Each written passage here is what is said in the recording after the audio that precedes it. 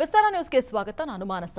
H D Kumaraswamy ವಿರುದ್ಧ DCM DKShi bomb ಅನ್ನ ಸಿಡಿಸಿದ್ದಾರೆ. ನಾನು ಇನ್ನು ನಿನ್ನ ಡಿನೋಟಿಫಿಕೇಶನ್ ವಿಚಾರಕ್ಕೆ ಕೈ ಹಾಕಿಲ್ಲ. ಕೇಂದ್ರ ಸಚಿವ ಕುಮಾರಸ್ವಾಮಿ ವಿರುದ್ಧ ಡಿಕೆಶಿ ಗುಡುಕ್ತಾ ಇದ್ದಾರೆ. ಆರೋಪ, ಪ್ರತ್ಯಾರೋಪಗಳು ನಡೀತಾ ಇದೆ. ಬೆಳಗ್ಗೆ ಕುಮಾರಸ್ವಾಮಿ ಅವರು ಡಿಕೆ ಶಿವಕುಮಾರ್ ವಿರುದ್ಧ ಒಂದಷ್ಟು ಆರೋಪಗಳನ್ನು ಮಾಡಿದರು. ಈಗ ಡಿಕೆ ಶಿವಕುಮಾರ್ ಕೂಡ ಕುಮಾರಸ್ವಾಮಿ ಅವರನ್ನ ಮುಂದಿಟ್ಕೊಂಡು ಈಗ ಆರೋಪವನ್ನ ಮಾಡ್ತಾ ಇದ್ದಾರೆ. ನಿನ್ನ ಡಿನೋಟಿಫಿಕೇಶನ್ ವಿಚಾರಕ್ಕೆ ನಾನು ಇನ್ನೂ ಕೈ ಹಾಕಿಲ್ಲ. ಕೇಂದ್ರ ಸಚಿವ ಕುಮಾರಸ್ವಾಮಿ ವಿರುದ್ಧ ಡಿಕೆಶಿ ಗುಡುಕ್ತಾ ಇದ್ದಾರೆ. ನನ್ನ, ತಮ್ಮ ತಂಗಿ ನನ್ನ ಮೇಲೆ ನೀನು ಕೇಸ್ ಹಾಕಿದೆಯಲ್ಲ? ನಿನ್ನ ವಿರುದ್ಧ ನಾನು ಪಟ್ಟಿಯನ್ನ ಬಿಡುಗಡೆ ಮಾಡ್ತೇನೆ ಅಂತ ಹೇಳಿ ಡಿಸಿಎಂ ಬ್ಲ್ಯಾಕ್ ಮೇಲ್ ಮಾಡ್ತಾ ಇದ್ದಾರೆ. ಕುಮಾರಸ್ವಾಮಿ, ನೀನು ಎಂದೂ ಡಿಕೆಶಿ ಆಕ್ರೋಶವನ್ನ ವ್ಯಕ್ತಪಡಿಸ್ತಾ ಇದ್ದಾರೆ ಡಿ ಕೆ ಶಿವಕುಮಾರ್ ಅವರು. ಇಪ್ಪತ್ತೈದು ಹಗರಣಗಳ ಪುಸ್ತಕವನ್ನ ಬಿಡುಗಡೆ ಮಾಡ್ತೀನಿ ಅಂತ ಹೇಳಿ ಡಿ ಸಿ ಎಂ ಆಕ್ರೋಶವನ್ನ ವ್ಯಕ್ತಪಡಿಸ್ತಾ ಇರ್ಬೋದು. ಒಂದು ಕಡೆ ಬೆದರಿಕೆಯನ್ನ ಕೂಡ ಹಾಕ್ತಾ ಇದ್ದಾರೆ. ಆರೋಪ ಮತ್ತು ಪ್ರತ್ಯಾರೋಪಗಳು ಇಬ್ಬರ ನಡುವೆ ನಡೀತಾನೆ ಇದೆ. ಬೆಳಗ್ಗೆ ಕುಮಾರಸ್ವಾಮಿ ಅವರು ಒಂದಷ್ಟು ಆರೋಪಗಳನ್ನ ಮಾಡಿದ್ರು. ರಾಜಕೀಯಕ್ಕೆ ಬರೋದಕ್ಕೆ ಮುಂಚೆ ಎಷ್ಟು ನಿಮ್ಮ ನಿಮ್ಮ ಬಳಿ ಆಸ್ತಿ ಇತ್ತು, ಅದಾದ ನಂತರ ಈಗ ಎಷ್ಟು ಆಸ್ತಿ ಇದೆ. ಎಪ್ಪತ್ತು ವರ್ಷದ ಸಾಕಷ್ಟು ವೃದ್ಧೆಯರಿಗೆ ಈಗ ಬೆದರಿಸಿ ಆ ಒಂದು ಸೈಟ್ಗಳನ್ನ ಬರೆಸ್ಕೊಂಡಿದ್ದೀರಾ ಅನ್ನುವಂತಹ ಆರೋಪವನ್ನ ನೇರವಾಗಿ ಮಾಡಿರ್ತಾರೆ. ಈಗ ಉಪಮುಖ್ಯಮಂತ್ರಿಗಳಾಗಿರುವಂತಹ ಡಿ ಕೆ ಶಿವಕುಮಾರ್ ಅವರು ಕೂಡ ಈಗ ಟಾಂಗ್ ಕೊಡ್ತಾ ಇದ್ದಾರೆ. ನೀನು ನಿನ್ನ ಕುಟುಂಬದವರು, ಏನ್ ಮಾತಾಡ್ದೆ? ಮಿಲಿಟರಿ ಅವರು ಬಂದು ನನ್ನ ಕರ್ಕೊಂಡು ಹೋಗ್ತಾರೆ ಅಂತ. ನೀನು ಬಂದು ನನ್ನನ್ನ ಜೈಲಲ್ಲಿ ನೋಡ್ದಲ್ಲಪ್ಪ? ನನ್ನ ಆತ್ಮಧೈರ್ಯ ಹೆಂಗಿತ್ತು? ನಾನು ಜೈಲಿಗೆ ಹೋದಂತ ಕೇಸಲ್ಲಿ ನ್ಯಾಯಾಲಯ ಇವತ್ತು ಸುಪ್ರೀಂ ಕೋರ್ಟ್ ವಜಾ ಮಾಡಿದೆ. ಗೊತ್ತಿದ್ಯಾ ನಿನಗೆ? ಗೊತ್ತಿದ್ಯಾ ನಿನಗೆ? ನನ್ನ ತಂಗಿ ಮೇಲೆ, ನನ್ನ ತಮ್ಮನ ಮೇಲೆ, ನನ್ನ ಹೆಂಡತಿ ಮೇಲೆ ಕೇಸ್ ಹಾಕದಲ್ಲ?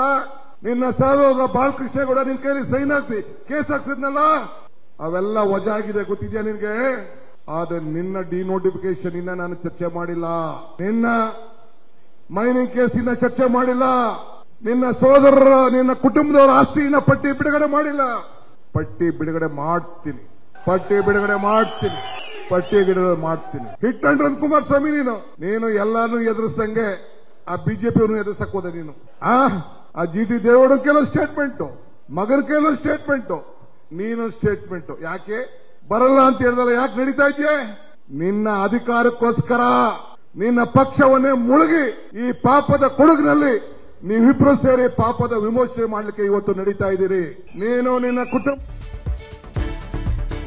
ಎಚ್ ಡಿ ಕುಮಾರಸ್ವಾಮಿ ವಿರುದ್ಧ ಡಿಸಿಎಂ ಡಿಕೆಶಿ ವಾಗ್ದಾಳಿಯನ್ನು ನಡೆಸ್ತಾ ಇದ್ದಾರೆ. ಜನಾಂದೋಲನ ಒಂದು ಕಾರ್ಯಕ್ರಮದಲ್ಲಿ ರೈತನ ಮಗ ಪ್ಯಾಂಟ್ ಬಿಟ್ಟು ಪಂಚೆ ಹಾಕಿಕೊಂಡಿದ್ದೀರಿ ಅಂತ ಹೇಳಿ ವಾಗ್ದಾಳಿಯನ್ನು ನಡೆಸಿದ್ರು. ಒಬ್ಬೇ ಒಬ್ಬ ಬಡವನಿಗೆ ಜಮೀನು ಕೊಡೋಕೆ ನಿಮ್ಮ ಕೈಯಿಂದ ಆಗಿಲ್ಲ. ನಿಮ್ಮಿಂದ ಒಂದೇ ಒಂದು ಮೀಟಿಂಗ್ ಮಾಡೋಕೆ ಆಗಲಿಲ್ಲ. ಉಳುವವರಿಗೆ ಭೂಮಿ ಕೊಡಬೇಕು ಅಂತ ಕಾಂಗ್ರೆಸ್ ಮಾಡಿದೆ.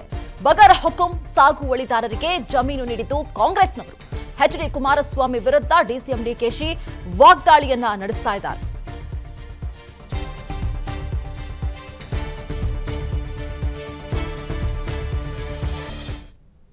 ಕುಮಾರಸ್ವಾಮಿ ಅವರೇ ನಿಮ್ಮ ಈ ಭಾಗ ಇಲ್ಲಿ ಪ್ರತಿನಿಧಿಸಿದ್ರಿ.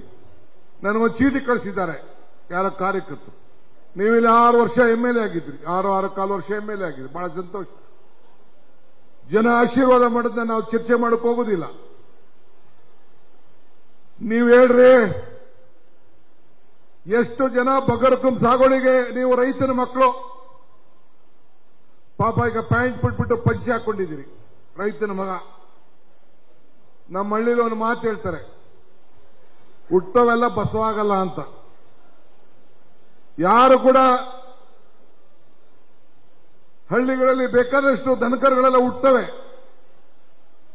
ಎಲ್ಲನೂ ಓರಿ ಆಗ್ಲಿಕ್ಕೆ ಸಾಧ್ಯ ಇಲ್ಲ. ಎಲ್ಲರೂ ರೈತರಾಗ್ಲಿಕ್ಕೆ ಸಾಧ್ಯ ಇಲ್ಲ. ಒಬ್ಬನಿಗೆ ಒಂದು ರೈತರಿಗೆ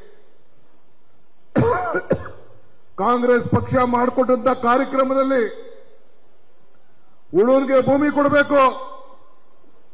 ಬಕರಕ್ಕೂ ಸಾಗುವಳಿ ಹಾಕೊಂಡು ಅರ್ಜಿ ಹಾಕೊಂಡವರಿಗೆ ಜಮೀನು ಕೊಡಬೇಕು. ಅರಣ್ಯ ಕಾಯ್ದೆಯಲ್ಲಿ ಕಾಂಗ್ರೆಸ್ ಸರ್ಕಾರ ಕೊಟ್ಟಿದ್ದ ಕಾನೂನಲ್ಲಿ ಜಮೀನು ಕೊಡಬೇಕು. ಅಂತೇಳಿ ಸಂವಿಧಾನದ ಹಕ್ಕು, ಸರ್ಕಾರದ ಹಕ್ಕನ್ನು ಕೊಟ್ಟಿದ್ದೇವೆ. ನಿನ್ ಕೈಲಿ ಕುಮಾರಣ ಒಂದು ಮೀಟಿಂಗ್ ಮಾಡಿ ಒಬ್ಬನಿಗೆ, ಬಡವನಿಗೆ ಜಮೀನಿನ ಕೈ ಕೊಡಕ್ಕಾಗಲಿಲ್ಲ. ಯಾವ ತರದ ಹಕ್ಕು ನಿನಗಿದೆ? ಇದು ನೀನು ಪ್ರಶ್ನೆಗೆ ಉತ್ತರ ಪಾಪ ಕಡಿಮೆ ಮಾಡಿಕೊಳ್ಳುವುದಕ್ಕೆ ಪಾದಯಾತ್ರೆಯನ್ನ ಮಾಡ್ತಾ ಇದ್ದಾರೆ. ಪಾಪ ವಿಮೋಚನೆಗಾಗಿ ಪಾದಯಾತ್ರೆಯನ್ನ ಮಾಡ್ತಾ ಇದ್ದಾರೆ ಅಂತ ಹೇಳಿ ವ್ಯಂಗ್ಯವಾಡಿದ್ದಾರೆ ಅವರು ಮಾಡಿದಂತಹ ಭ್ರಷ್ಟಾಚಾರಕ್ಕಾಗಿ ಈ ಪಾದಯಾತ್ರೆಯನ್ನ ಮಾಡ್ತಾ ಇದ್ದಾರೆ ಅನ್ನುವಂತಹ ಆರೋಪವನ್ನ ಮಾಡ್ತಾ ಇದ್ದಾರೆ. ಇದು ಪಾಪ ವಿಮೋಚನೆ ಪಾದಯಾತ್ರೆ ಅಂತ ಹೇಳಿ. ಡಿಕೆಶಿ ವ್ಯಂಗ್ಯವಾಡಿದ್ದಾರೆ. ಬಿಜೆಪಿ ಮತ್ತು ಜೆಡಿಎಸ್ ಪಾದಯಾತ್ರೆಗೆ ಡಿಸಿಎಂ ಆಗಿರುವಂತಹ ಡಿಕೆ ಶಿವಕುಮಾರ್ ಕೊಟ್ಟಿರುವಂತಹ ತಿರುಗೇಟು ಇದು. ಜನಾಂದೋಲನ ಸಮಾವೇಶದಲ್ಲಿ ಈ ಮಾತುಗಳನ್ನು ಹೇಳಿದ್ದಾರೆ ಡಿಕೆ ಶಿವಕುಮಾರ್ ಅವರು. ಚನ್ನಪಟ್ಟಣದಲ್ಲಿ ಒಂದು ಐತಿಹಾಸಿಕವಾದಂತಹ ಸಭೆ ನಡೀತಾ ಇದೆ. ಇದು ಬಿಜೆಪಿ ಜನತಾದಳ ಇದು ಪಾಪ ವಿಮೋಚನಾ ಪಾದಯಾತ್ರೆ. ಅವರು ಮಾಡಿರುವಂತಹ ಎಲ್ಲ ಪಾಪಗಳನ್ನ ವಿಮೋಚನೆ ಮಾಡಿಕೊಳ್ಳಿಕ್ಕೆ ಈ ಪಾದಯಾತ್ರೆಯನ್ನ ಮಾಡಿದ್ದಾರೆ. ನಾನು ಬಿಡದಿ ಒಂದು ಮಾತು ಹೇಳಿದೆ. ಭ್ರಷ್ಟಾಚಾರದಿಂದ ಭ್ರಷ್ಟಾಚಾರಕ್ಕೋಸ್ಕರ ಭ್ರಷ್ಟಾಚಾರಿಗಳಿಂದ ಪಾದಯಾತ್ರೆ ಅಂತೇಳಿ.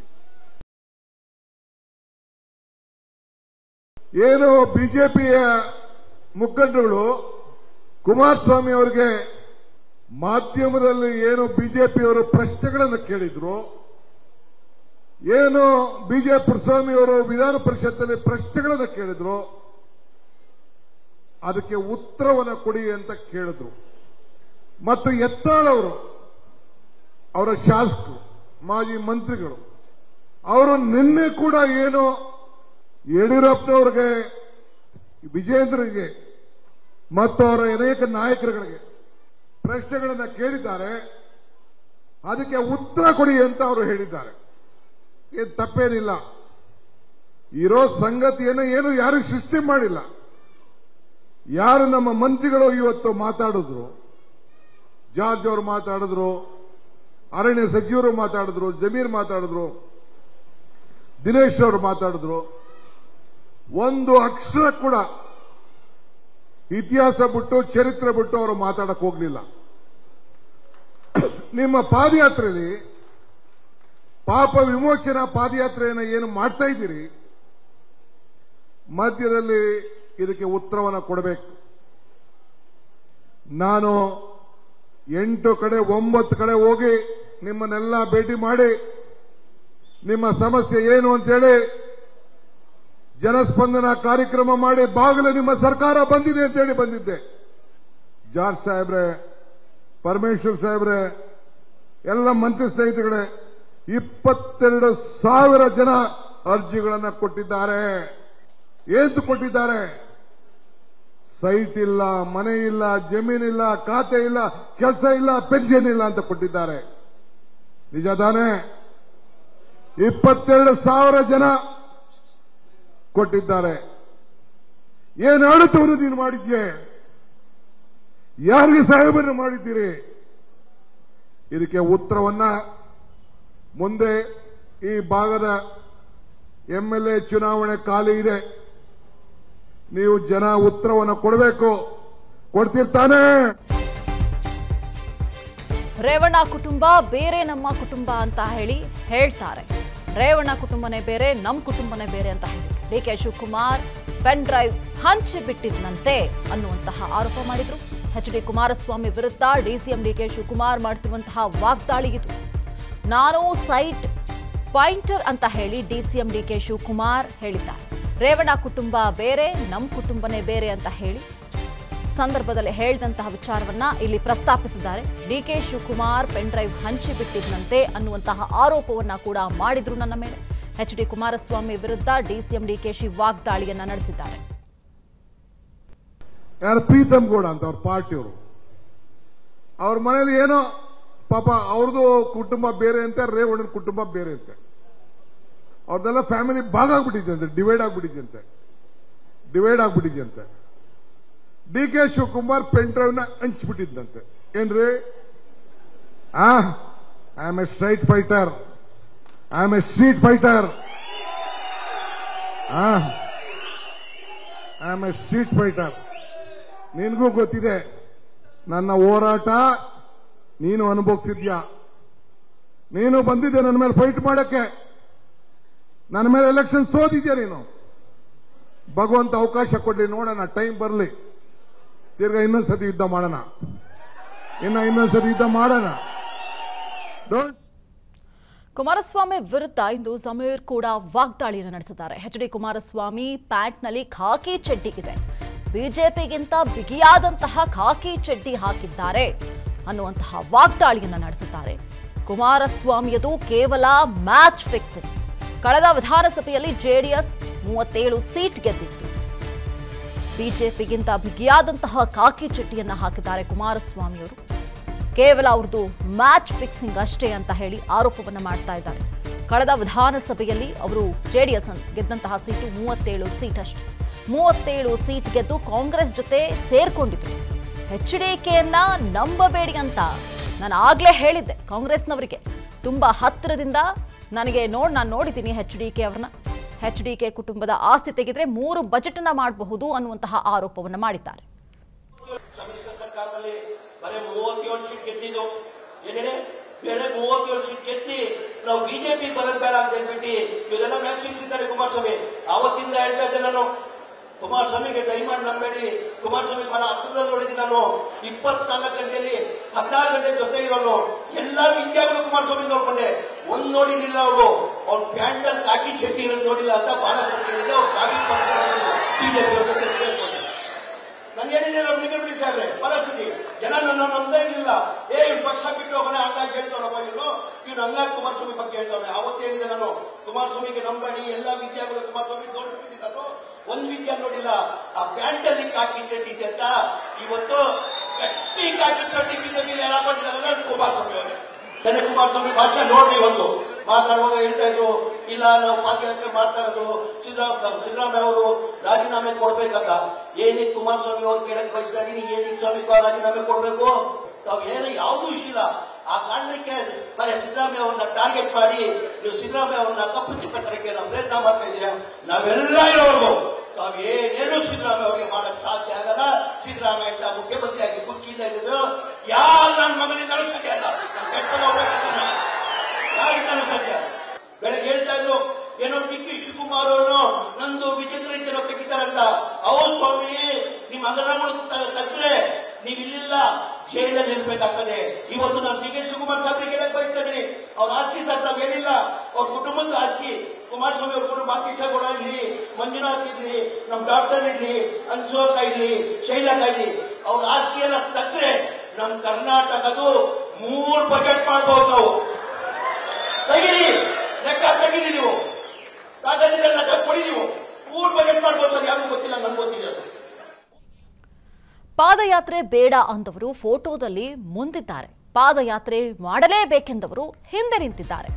ಇದರ ಅರ್ಥ ಏನೆಂದು ಅವರೇ ಹೇಳಬೇಕು ಅಂತ ಹೇಳಿ ವ್ಯಂಗ್ಯವಾಡ್ತಾ ಇದ್ದಾರೆ. ಯತ್ನಾಳ್ ಅವರು ಇದಕ್ಕೆ ವಿರೋಧವನ್ನ ವ್ಯಕ್ತಪಡಿಸಿದ್ರು. ಪಾದಯಾತ್ರೆ ಮಾಡಬೇಕು ಅಂತಂದೆ ಅವರು ಈಗ ಹಿಂದೆ ಇದ್ದಾರೆ. ಇದರ ಅರ್ಥ ಏನಂತ ಅವರೇ ಹೇಳಬೇಕು. ಚನ್ನಪಟ್ಟಣದಲ್ಲಿ ಗೃಹ ಸಚಿವ ಡಾಕ್ಟರ್ ಪರಮೇಶ್ವರ್ ವಾಗ್ದಾಳಿಯನ್ನು ನಡೆಸ್ತಾ ಇದ್ದಾರೆ. ನಿನ್ನೆ ಬಿಜೆಪಿ ನಾಯಕ ಯತ್ನಾಳ್ ಒಂದು ಮಾತನ್ನ ಹೇಳಿದ್ದಾರೆ. ಭ್ರಷ್ಟಾಚಾರದ ವಿರುದ್ಧ ಭ್ರಷ್ಟಾಚಾರಿಗಳೇ ಪಾದಯಾತ್ರೆ ಅಂತ ಹೇಳಿದ್ರು. ಬಿಜೆಪಿ ಸರ್ಕಾರದ ಫಾರ್ಟಿ ಪರ್ಸೆಂಟ್ ಭ್ರಷ್ಟಾಚಾರ ಇಡೀ ದೇಶಕ್ಕೆ ಗೊತ್ತಿದೆ ಅನ್ನುವಂತಹ ಆರೋಪವನ್ನ ಈ ಸಂದರ್ಭದಲ್ಲಿ ಮಾಡಿದ್ದಾರೆ. ನಾನು ಈಗ ದಾರಿಯಲ್ಲಿ ಬರುವಾಗ ಕೆಲವು ಪೋಸ್ಟರ್ಗಳನ್ನು ನೋಡಿದೆ.